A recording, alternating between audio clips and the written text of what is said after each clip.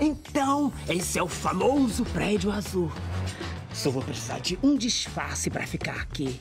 E enfim, colocar nosso plano em ação. Vai ser muito fácil enganar esses detetives detestáveis. TPA, nova temporada, estreia dia 15, 7 da noite, no Clube.